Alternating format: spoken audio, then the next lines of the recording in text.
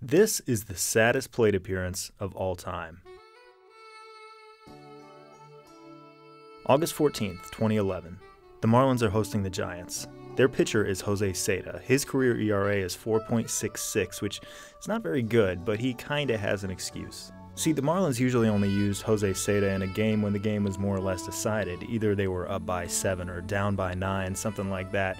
In more than half of Ceda's career games, his team was either winning or losing by at least 5 runs. He was basically just pitching because somebody had to pitch. That means he was dropped into some really awful situations. These are all the runs scored by all the opposing teams at the time Jose Ceda entered the game.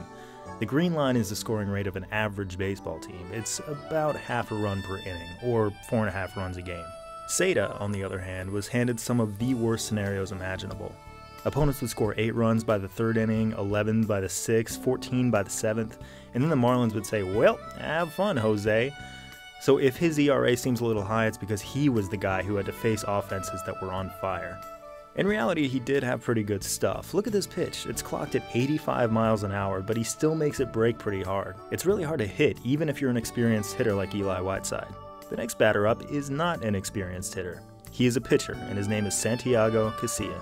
So this part has nothing to do with the story really, but I feel like talking about it. It's my video, I'll do what I want to.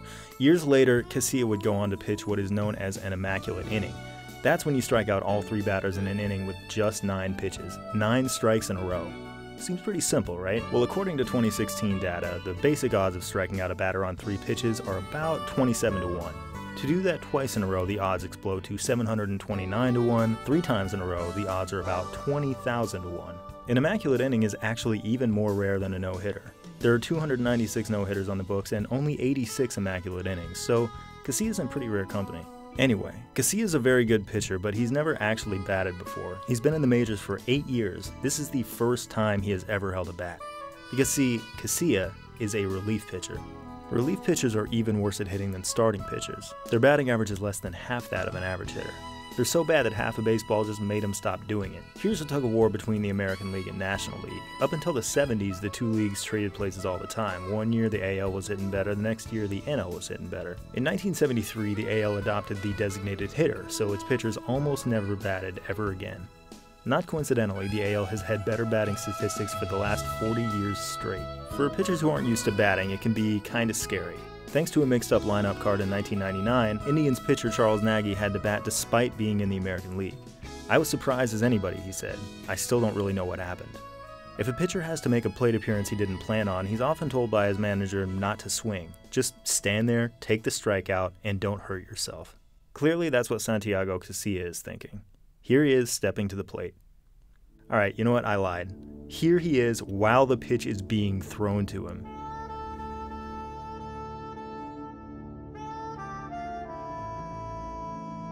He clearly isn't even trying to get a hit, but more than that, he's not even pretending to try. He's delivering a clear message to Ceda. Just strike me out, man. Just get this over with.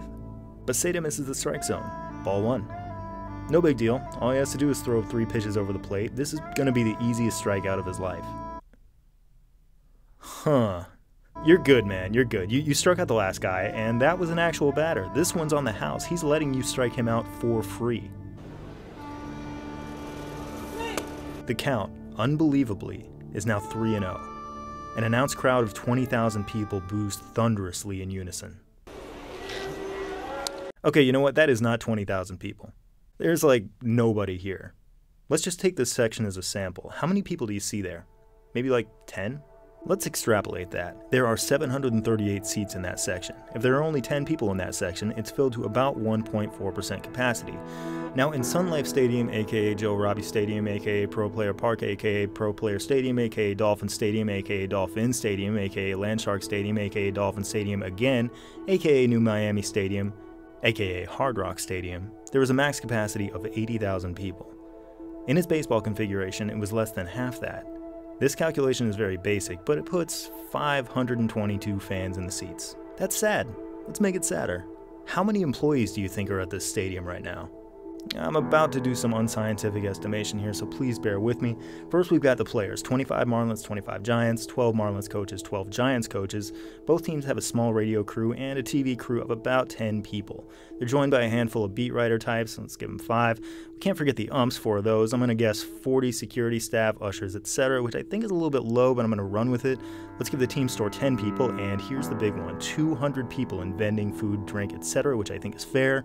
Now, it's a Sunday, so I think there aren't a ton of front office uh, personnel in the stadium. There's also a mascot and probably four sausage racers, a ball person and bat person for each team, that's four, an events and promotion staff of, let's say, 10, two official scorers, a multimedia crew to run the scoreboards and ads and whatnot, a grounds crew of 20 people, and 75 sanitation workers, which, if you think that's too high, keep in mind that this is an enormous stadium. 25 people at the ticket offices, and I almost forgot four camera operators for the broadcast crews.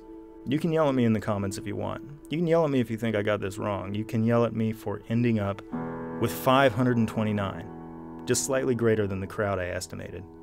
I think it's entirely possible that the majority of people at this baseball game was paid to be there. That's amazing. Maybe it's a good thing that so few people were there to witness what happened. Or maybe it was beautiful, and it's a shame more people weren't there to see it. At any rate, I bet you can guess what happens next. And a four pitch walk. And he didn't know what to do. Jose Ceda just faced a batter who had never batted before and wasn't even trying to bat, and he walked him on four pitches. He walked a man whose batting stance is this. Santiago Casilla tried to strike out and it didn't work. He tried as hard as he could to fail, and he was so good at failing that he failed to fail. After ball four, Casilla just stands there. It's like he doesn't believe what happened. He doesn't know what to do with his bat, he goes back to the dugout to drop off his stuff, which you're not supposed to do. He's never been on base and he has no idea what he's doing. Six years later, this remains the only walk of his career. A couple months later, Jose Ceda's major league career would end for good. He would achieve further notoriety in one of the last games of his career, when his teammates piled up sandbags and locked him in the bathroom for an entire inning because they were bored. See, that's the thing about baseball. Just isn't that fun.